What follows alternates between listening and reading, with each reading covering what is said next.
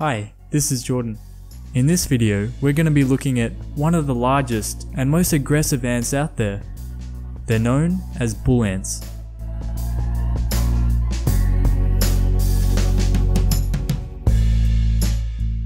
Bull ants fall under the genus Myrmecia and have around 90 different species, almost all of which are endemic to Australia.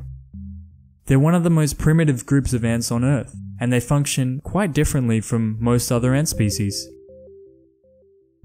Typically, when an ant wants to communicate with its fellow colony members, it lays down pheromones, which the others can smell using their antennae, and be guided towards some food for example, forming a sight you'll probably be familiar with, a long trail of ants leading to a source of food. But bull ants are different.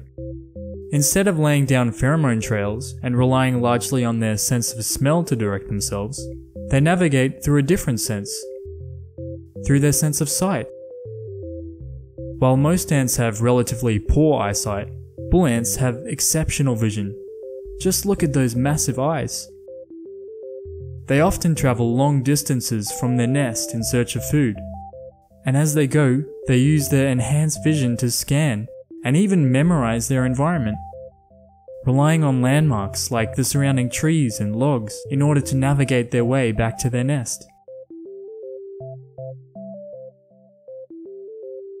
Bull ants' acute sense of vision also makes them incredibly effective at tracking down and stalking prey.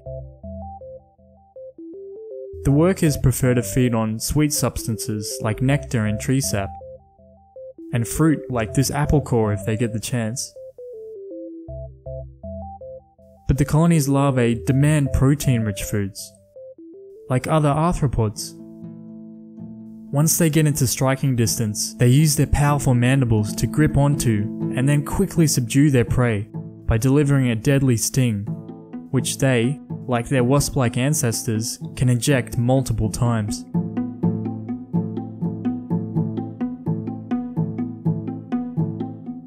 Bull ants occasionally prey upon other ants too, usually seen targeting carpenter ants, which often live alongside them. A successful kill comes with great reward.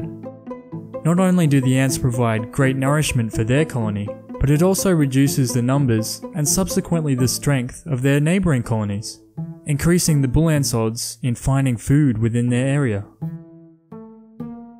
This can be a little dangerous however, as these carpenter ants will raise alarm pheromones when felt threatened, causing their fellow colony members to rush in against their attacker, sometimes even resulting in the predator becoming the prey.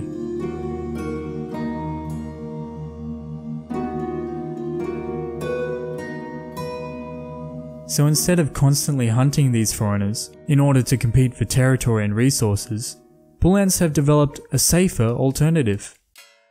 They do so via sabotage. The bull ants pay a visit to their neighbours and start dropping debris like rocks and twigs into their nest entrances. By shutting in the rival colony, it forces them to spend time and energy in order to clear these blockages effectively limiting their foraging capabilities.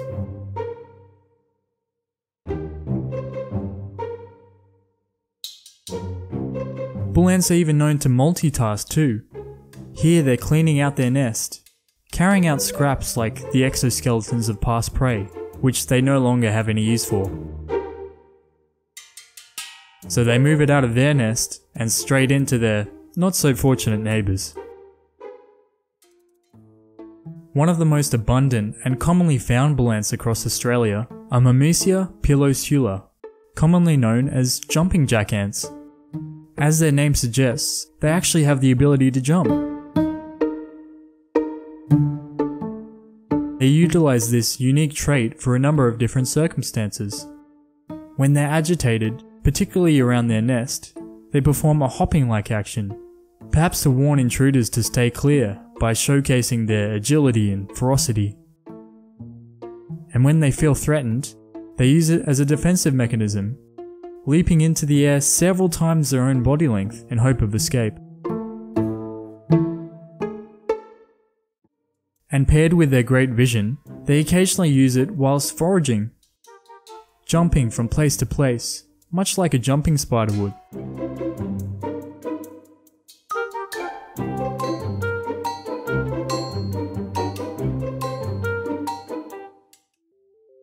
Here's a look inside the nest of a captive colony of jumping jacks. This colony is only just in its early stages, with a single queen and a few worker ants present. These workers are closed from the queen's very first batch of eggs, and so are known as nanitics. The first generation or two tend to be smaller in size than the preceding generations, as the colony simply has less workers around, foraging for food and making sure the brood and queen is well nurtured. Apart from the obvious size difference, bull ant queens look quite similar to regular workers. Most queens you'll see, like this carpenter ant queen here, tend to have a disproportionately large thorax and gaster section. After these queens dig themselves out an egg-laying chamber, known as a claustral cell, here they'll remain, living off their fat reserves and waiting patiently for their workers to arrive. These types of queens are known as fully claustral queens. Unlike fully claustral queens, however, bull ant queens just don't have the sufficient fat reserves to fast through this long period, and so found their colonies in a semi-claustral manner, meaning they leave their claustral cell to search for food, so as to nourish both themselves and their hungry larvae. Bull ants can be some of the largest ants you'll see, with some species reaching up to 2.5 centimeters in length, and the queens measuring even larger than that. Here you can see the difference against an average sized ant.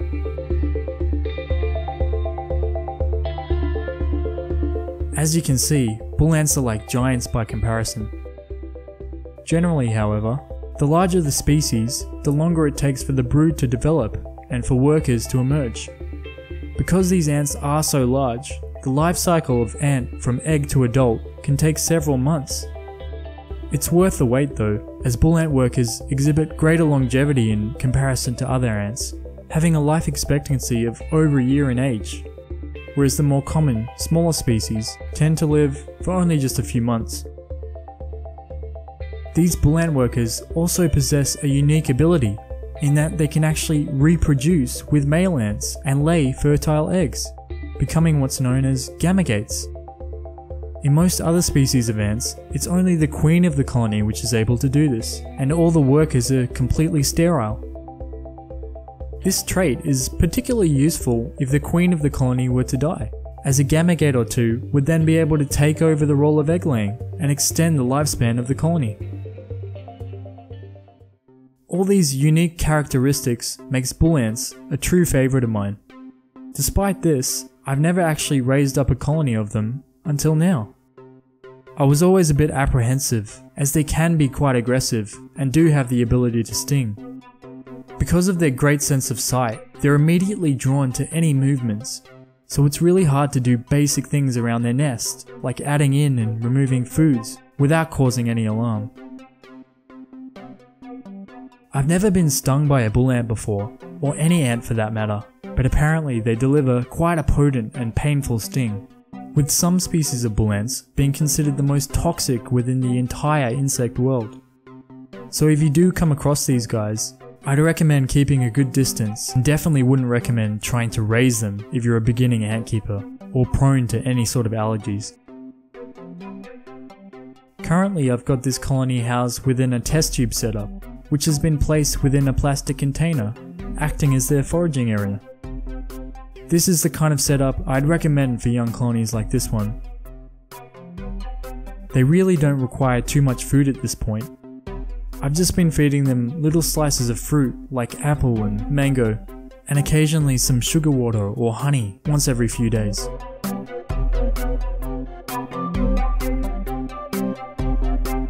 They're not so interested in insects right now.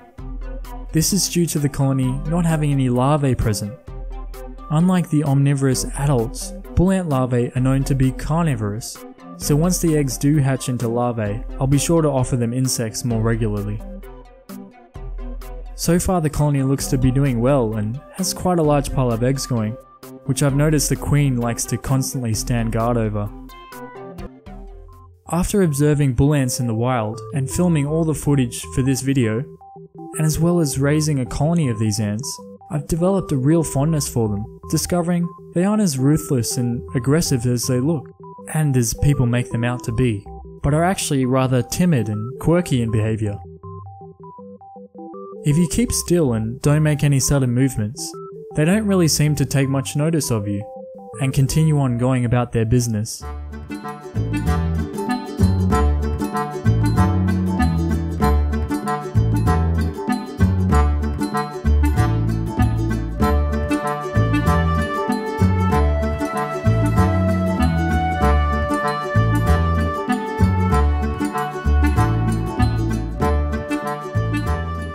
When they do spot you, they become fixated on your movements, but will usually just cautiously back up.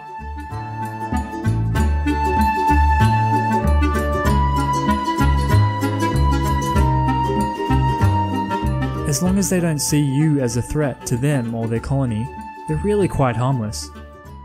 And personally, I think they look adorable. Just look how curious this little worker is.